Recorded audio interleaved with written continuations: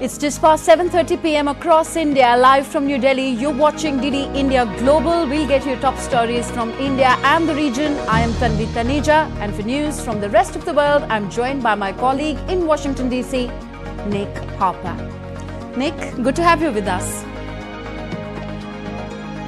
Good morning, Tanvi. It's 10 a.m. here in Washington, D.C. It's 3 in the afternoon across Central Europe. Coming up in the next 30 minutes, the U.S. Congress considers funding for Ukraine and Israel, and the search continues for impartial jurors for Donald Trump's hush money trial. But first, the headlines. Russian President Vladimir Putin urges all sides in the Middle East to show reasonable restraint. Iranian president tells his Russian counterpart that Tehran is not interested in escalating the conflict.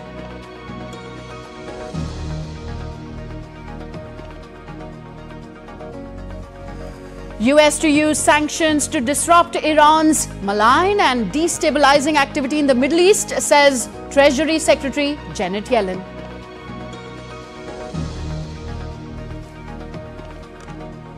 Hunt for potential jurors on as day two of Donald Trump's historic hush money trial begins in New York.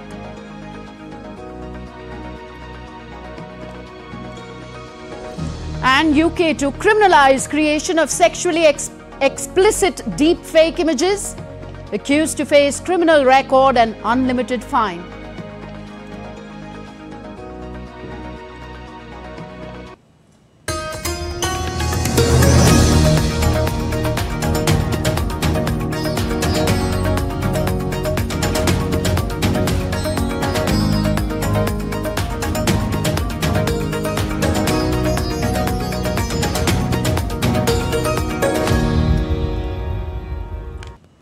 Russian President Vladimir Putin on Tuesday urged all sides in the Middle East to refrain from action that would trigger a new confrontation with catastrophic consequences for the region. Putin spoke to Iranian President Ibrahim Raisi and said that Palestinian-Israeli conflict needs to be solved. Iran launched drones and missiles at Israel late on Saturday in retaliation for an Israeli strike on its Damascus consulate on April 1st. Meanwhile, Israeli War Cabinet is due to meet on Tuesday to discuss the response to Iran's attack on its territory over the weekend. This will be the third time that the decision-making cabinet convenes since Iran launched over 300 missiles and drones against Israel on Saturday. The meeting comes as Israel has vowed to respond to Iran's attack, with its military chief of staff saying that the attacks would not go unanswered. I want to thank all our international partners who stood up to Iran's aggression. Iran's attack has created new opportunities for cooperation in the Middle East. We are closely assessing the situation. We remain at our highest level of readiness. Iran will face the consequences for its actions. We will choose our response accordingly. Now, Iran, on the other hand, said that any action against its interest will be responded to. Iranian President Ibrahim Raisi and Iranian Foreign Minister warned on Tuesday that their nation will respond to any retaliatory strikes and the smallest action against its interests will be met with a severe and widespread response against any perpetrator. If the Israeli regime makes a mistake, this time Iran's response, as Iran's military commanders announced, will not be minimal but immediate and severe. Now, German Foreign Minister Annalena Baerbock is heading to Israel later today for discussions to prevent an escalation of tensions in the region following Iran's attack over the weekend. Addressing the news conference with her Jordanian counterpart, the German Foreign Minister said it is important to stop Iran without provoking further escalation. I will make another trip to Israel today to assure our Israeli partners Germany's full solidarity and we will talk about how a further escalation with more and more violence can be prevented. It's decisive now to stop Iran without provoking further escalation. It's incredibly important for us as the German federal government in these fragile times that we all work together to contribute to de escalation for the entire region. Dürfen nicht now, amid all this, the United States is preparing for fresh sanctions for Iran. This is what Treasury Secretary Janet Yellen said after Iran's attack on Israel last weekend threatened stability in the Middle East and led to potential economic spillovers. Yellen was addressing a news conference on an unprecedented attack on Israel by Iran and its proxies, saying the US Treasury would use its sanctions authority and work with allies to continue disrupting the Iranian regime's malign and destabilizing activity in the region. The US is using financial sanctions to isolate Iran and disrupt its ability to fund proxy groups and also support Russia's conflict with Ukraine. Now, the US House of Representatives prepares to vote on four separate measures providing aid to Israel and Ukraine. My colleague Nick Harper is in Washington, D.C. He takes it forward from me here and gives us more on this and other stories making headlines around the world. Nick, crucial legislation is expected today? That's right, Tanvi. US House Speaker Mike Johnson uh, has said spending legislation will be released later on Tuesday, with lawmakers still fine tuning the final figures. The House is gearing up for a vote on four separate measures providing aid to Israel and Ukraine, along with assistance to Taiwan and US allies in the Indo Pacific region. These measures could hit the House floor as early as Friday for a vote. Johnson also mentioned that the fourth bill, focusing on national security priorities, will include additional sanctions on Russia and Iran.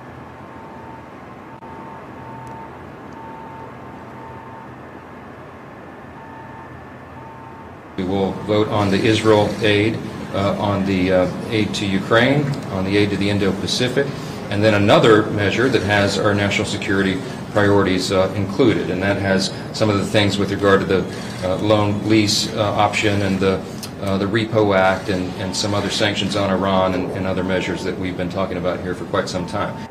Donald Trump has reached the New York courthouse for the second day of his historic hush money trial as lawyers try to select 12 jurors to consider the former US president's guilt or innocence. Over half of the 96 potential jurors that were questioned on Monday were dismissed after saying they could not impartially judge the accused.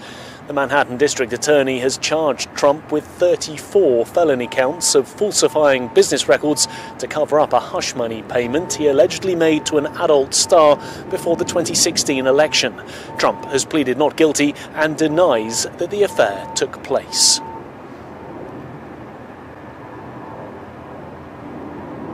Well, to get more on this, DD India's William Denslow is joining us live from New York.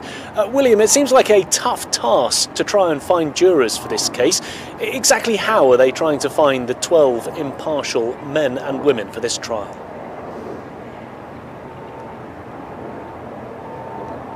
Nick, as you rightly mentioned, incredibly difficult task, and we got a sense of that on Monday with Judge Juan Merchan warning at the end of day one of jury selection that they were already running behind schedule, asking jurors to start each day promptly.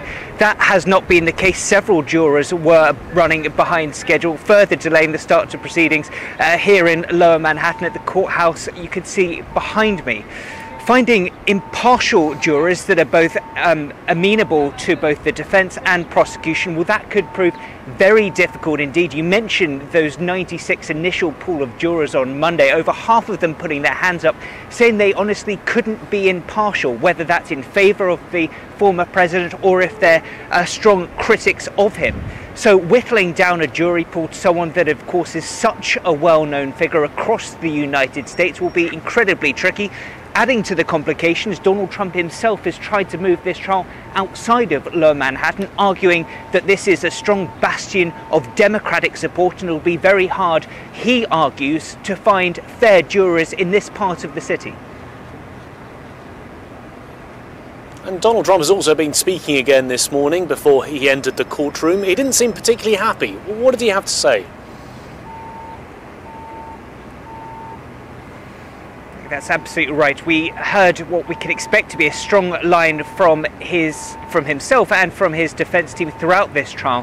When entering the courthouse, he really laid out his arguments. It all revolves around this payment of 130 $1,000 that was provided uh, by his then fixer, now star witness for the prosecution, Michael Cohen. Now, it's alleged by the prosecution that that $130,000 was a hush money payment to the porn star Stormy Daniels. Donald Trump has said that this was a legal expense to Michael Cohen, nothing nefarious, nothing more than that. So he rejects the premise. That is why he has pleaded not guilty to the 34 charges. Also interestingly, on social media, he's again called for a gag order uh, to be released. And prosecutors here in Lower Manhattan this morning have reminded Donald Trump that violations of that gag order could result in fines or up to 30 days in prison. They say that just in the past 10 days or so, he's already been violating that gag order. William, thank you. That was William Denslow joining us live from New York City.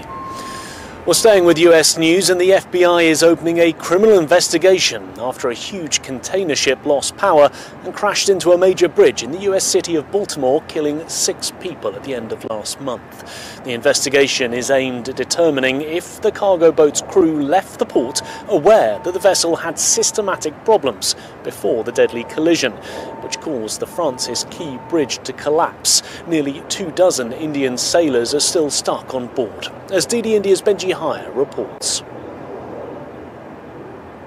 The latest from the scene of that fatal crash was that FBI agents have embarked on the Dali just upstream from where I'm standing on the edge of the shipping channel in and out of Baltimore. They are there, they say, to conduct court authorized law enforcement activity. They want to try to assess whether the crew who were still on board knew of any issues with the ship before it set sail. A 22 man crew, all but whom, all but one of whom I should say, are Indian citizens. Uh, it should be mentioned that uh, the US Coast Guard did undertake a safety check of the vessel back in 2023. No deficiencies were found at the time. And this FBI probe is not the only ongoing investigation. The National Transportation Safety Board has one already underway to look into the cause of the disaster. There is going to be a prelim- preliminary report expected in the coming weeks, but a full report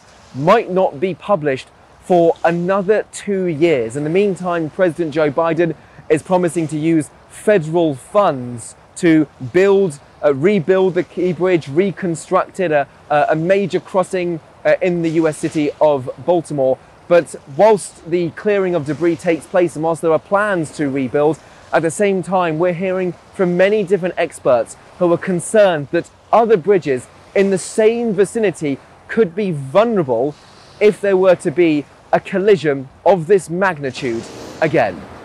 Benji Hire in Maryland, reporting for DD India. Onto the ongoing Russia Ukraine conflict now, and Ukrainian President Volodymyr Zelensky has signed into law a bill that overhauls army mobilization rules. The law will be enforced one month following its official publication. The law mandates that men should update their draft data with the authorities. It increases payments for volunteers and it introduces new penalties for draft evasion. During his three day trip to China, German Chancellor Olaf Scholz held talks with President Xi Jinping in Beijing on Tuesday. They deliberated on enhancing economic cooperation between the largest economies of Asia and Europe, with Scholz advocating for improved market access and fair competition for German companies. Scholz has urged Chinese President Xi to use his influence in helping resolve the conflict in Ukraine and emphasizing their joint stance against attacks on nuclear installations. To the UK now, where the government has announced that it will criminalise the creation of sexually explicit deepfake images. As per the new guidelines, anyone found guilty of creating fake sexual images of people without their consent will face a criminal record, an unlimited fine, and perhaps even jail time if the image is widely shared. The new offence will be introduced through an amendment to the Criminal Justice Bill. DD India's Ollie Barrett sent us this report from London. The new criminal offence will be brought in as an amendment to the government's Criminal Justice Bill, which is already making its way through Parliament. Under that legislation, it will then become a criminal offence with potentially unlimited fines for anyone who fabricates explicit images of an adult without their consent. If such an image goes viral or is widely shared, that could lead to jail for the creator. Deepfakes see pictures or video altered digitally, often with artificial intelligence technology, so that one person's face replaces that of another, so it appears that they are in an explicit image. The offence will apply even if the person who made the deepfake didn't intend to share it, but did mean to cause alarm, humiliation, or distress to the victim. The Minister for Victims and Safeguarding in the UK, Laura Farris, says that deepfakes are an example of ways in which certain people seek to degrade and dehumanize others, especially, she says, women. Ollie Barrett in London, reporting for DD India. Well, that's it from me here in Washington. Tanvi, handing it back to you in the studio. Thank you very much, Nick. Nick Harper joining us all from Washington, D.C. You're watching DD India Global, still to come on the show. Heavy rains lash UAE and surrounding nations, causing flooding and traffic disruptions in Dubai.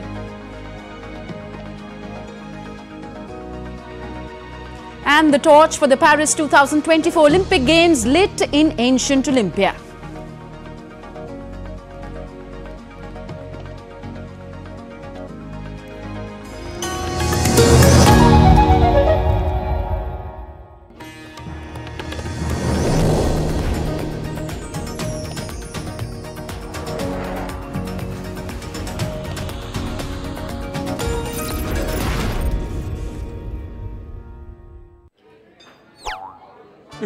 अरे रे सावधानी हटी तो जेब cut. ना, ना, मेरी email ID और मोबाइल नंबर है बैंक में रजिस्टर्ड तो? तो डिजिटल पेमेंट में धोखा हुआ कभी तो अलर्ट्स मिलेंगे तभी के तभी। पर पैसे तो गए। नहीं नहीं नहीं पैसे नहीं गए। नहीं जो की लापरवाही तो नहीं करनी पड़ेगी भरपाई और सुनिए समय से जो की शिकायत मिलेंगे आपको रिफंड सही सलामत।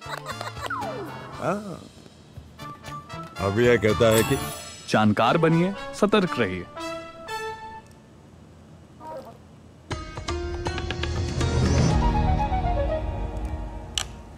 Welcome back. You're watching DD India Global. I am Tanvi Taneja. Now we get you all the buzz related to India's elections.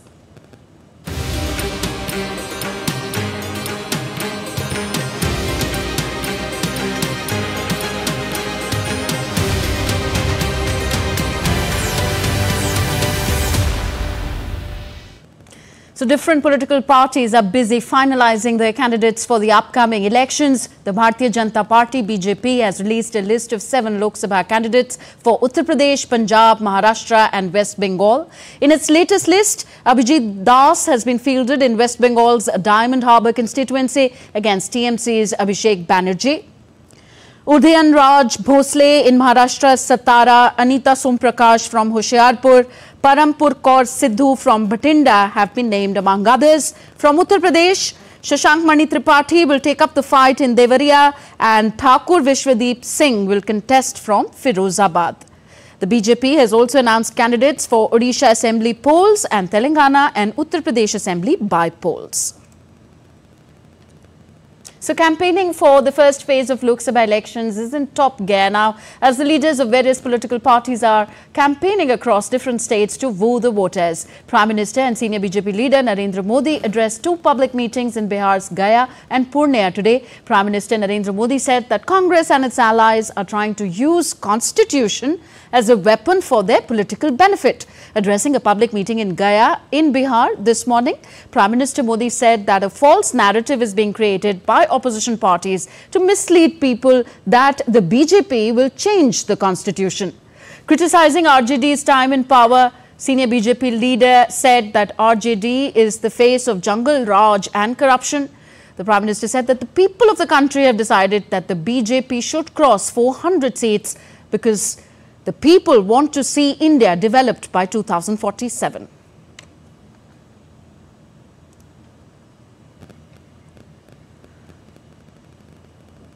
So leaders are leaving no stone unturned as the poll date for the first phase approaches. India's Home Minister and senior party leader Amit Shah held a public rally in Jammu and Uttarakhand today.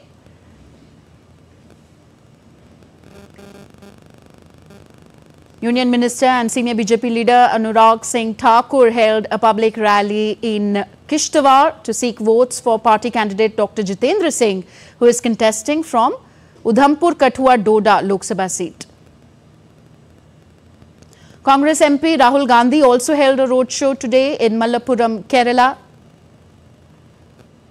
Congress General Secretary Priyanka Gandhi Vadra participated in roadshows in Assam and Tripura organized in support of the INDIA Alliance candidates.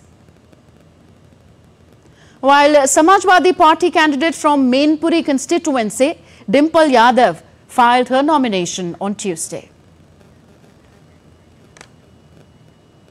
Now, one of India's northeastern states, Sikkim, is going to polls on the 19th of April for its lone parliamentary seat and 32 assembly seats. Fierce campaigning is on by all political parties, fighting it out over a range of promises and issues.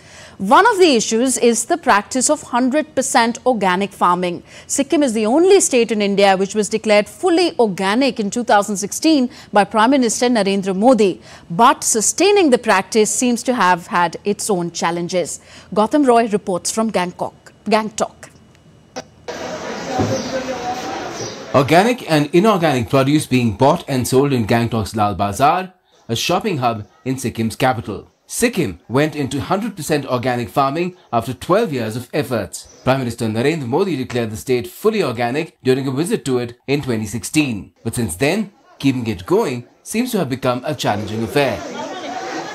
We are in Gangtok's iconic landmark Lal Bazar, where organic produce from within Sikkim and inorganic produce from outside are both sold. And the shopkeepers who deal here with organic produce have a list of complaints that range from price competitiveness with the inorganic produce from outside as well as transport. There are problems with transport. The roads are bad, vehicles have to take longer routes. Transport charge doubles. We have increased rates somewhat. People say it's become too expensive. Sales are a bit low these days. A lot of cheaper inorganic vegetables come from outside. Smart Mart has also opened a lot. Even online shopping has affected us. Going fully organic was the initiative of the previous Sikkim Democratic Front government in the state, which is now in opposition. The SDF alleges that the ruling Sikkim Krantikari Morcha government is not promoting organic processes with as much sincerity. But representatives of the ruling SKM rubbish the opposition's charges. It's a wrong propaganda that the opposition is doing. Those who are doing farming, we are giving them incentives. You see a manifesto this year. We are promoting organic farming. Organic farming and organic produce is Sikkim's USP. It's what brings this land global recognition. Even India is put on the map. Clearly, it needs to be nurtured further to ensure that it brings maximum benefit to all the stakeholders who are involved in it. With Converse and Sumit this is Gautam Roy in Gangtok for DD India. So from India's northeast to its north, election fever mounts in Uttarakhand's Mussoorie that will also go to polls on 19th April. DD India's Siddharth Bhardwaj has more. It's Lok Sabha polls 2024 and the excitement is certainly in the air. Well, I'm in Mussoorie, also called the Queen of Hills. And people this time around here in the region have certain hopes and aspirations. Amidst the breathtaking vistas of Mussoorie, a different kind of hustle and bustle is underway, the Lok Sabha elections. The picturesque hill station is not just a tourist hotspot, but also a crucial political background. As political parties vie for votes, the beauty of Mussoorie serves as a striking backdrop to the democratic process. But beyond its serene landscapes, locals are vocal about pressing issues like road, infrastructure, and healthcare. We are expecting that the government will bring out policies which are friendly for the tourist plus friendly for the localites in the uh, town. Primarily, what we are looking at is uh, employment and we are looking at tourism generation and road infrastructure. But we are pretty happy with the connectivity that's happening. More is to be done and we hope more coming up in the times to come. Despite these challenges, tourists continue to flock to Mussoorie, drawn by its natural beauty and vibrant culture. For them, the elections add an extra layer of intrigue to their holiday experience. With the election fervor in full swing, Mussoorie remains a beacon of democracy against the backdrop of its stunning landscape. Well, the state of Uttarakhand will go to polls on April 19 in single phase. And the residents here hope that the elected representatives will not only preserve the charm of this region, but also will cater to the basic needs of the people here. With camera person Manmohan, this is Siddharth Bharadwaj reporting for DD India. You're watching DD India Global. Now let's get you up to speed with what else is happening around the world. The European Union has decided to allocate $3.71 billion towards safeguarding the ocean and advancing sustainability through various initiatives this year. EU's top environment official announced a list of 40 commitments to protect the oceans on Tuesday. This includes combating marine pollution, backing sustainable fisheries and fostering investments in the blue economy. About 990 homes and residential plots in Russia's Kurgan region near the Tobol River and Kazakhstan border are submerged in floodwater due to rapidly rising water levels. In the Orenburg region, approximately 30 kilometers of protective dams have been constructed with thousands of personnel engaged in rescue operations. Parts of the UAE faced heavy rain on Tuesday, causing flooding and traffic disruptions in Dubai. Earlier on Monday, Dubai police issued a public safety advisory warning residents of adverse weather conditions. In Oman, flash floods claimed at least 17 lives between April 14th and 15th. And the torch for the Paris 2024 Olympic Games was lit in ancient Olympia in a traditional ceremony on Tuesday, marking the final stretch of the seven-year preparations for the Games' official start on July 26th. Paris will host the Summer Olympics for a third time after 1900 and 1924. σε λίγα δευτερόλεπτα. And as we wind up this edition of DD India Global, let's head for some lunar exploration with the robot Spirit that has been designed uh, for undergoing uh, lunar exploration trials in the challenging terrain of Mount Hood in Oregon, United States. With a $2 million grant over two years, the project seeks to assist NASA in deploying teams of robots for lunar exploration.